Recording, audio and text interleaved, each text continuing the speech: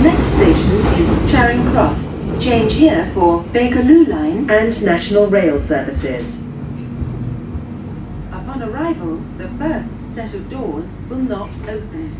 Customers in the first carriage, please move towards the rear doors to leave the train.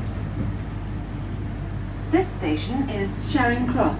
Change here for Bakerloo Line and National Rail services. This is a Northern Line train terminating at High Barnet.